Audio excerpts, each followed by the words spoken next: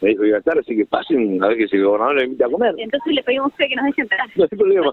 Estamos a una cuadra de casa de gobierno. ¿A cuánto crees vos que estás de la casa de gobierno? Y fundamentalmente, ¿cómo fue este recorrido? ¿Cómo fue la campaña para tratar de ser el próximo gobernador? La campaña para mí fue fue realmente muy buena. Eh, no Creo que hicimos todo lo que teníamos que hacer, creo que fuimos eh, concretos, hablamos de cosas concretas nos jugamos por lo que pensamos y, la verdad que fue una muy buena campaña. Yo la disfruté mucho, la disfruté, la disfrutaron los chicos, los, compañeros, las compañeras que hicieron campaña con nosotros, la disfrutaron mucho, nuestros compañeros locales, candidatos locales.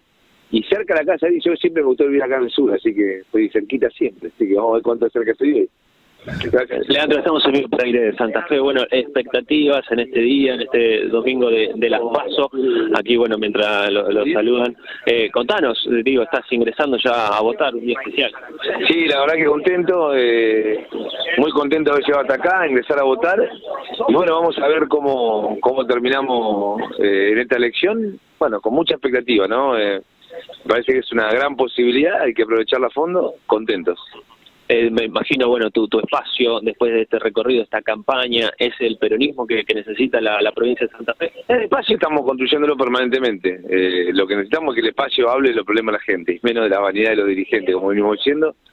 Y estamos en eso, estamos construyéndolo, trabajándolo. Eh, muy contento de los compañeros y compañeras que me acompañan acá en la ciudad de Santa Fe, así que bueno, vamos a ver cómo terminamos. Bueno, ¿cómo continúa tu día? Personalmente, ¿cómo te sentís? Ahora lo voy, mira, lo acompañé a Fede Fulino a votar, después lo voy a acompañar a, Gustavo Chara y, a, al Turco Cheret.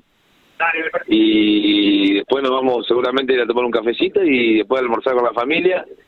Y bueno, a seguir los resultados, ya a partir de así como estar reunidos para empezar a ver los resultados. Muchas gracias. A ustedes, un abrazo. Ahí lo escuchamos a Leandro Kiko Busato, precandidato a gobernador. Está por ingresar ya a la escuela San Francisco, la escuela que está ubicada aquí en San Martín del 1300, a muy poquitos metros de, casa de gobierno, ¿no? que es en definitiva el objetivo que tiene aquí el precandidato a gobernador. Ese, gracias. De un momento a otro volvemos. Hasta la próxima.